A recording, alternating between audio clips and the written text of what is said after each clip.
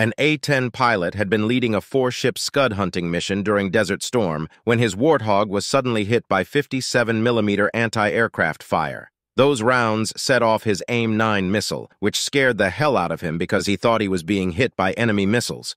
There were no incoming missiles, but he was in serious trouble. Anti-aircraft rounds had exploded directly behind him, damaging his tail feathers and right engine, while a third exploded under his right wing, filling it with holes that were leaking fluid. Losing fuel and surrounded by warning lights, he thought about jumping, but the Warthog kept on flying. He had lost his speed brakes and flaps, but was able to get his landing gear down, and despite a blown tire that caused him to careen off the runway, managed to safely land the battered aircraft. The most amazing thing?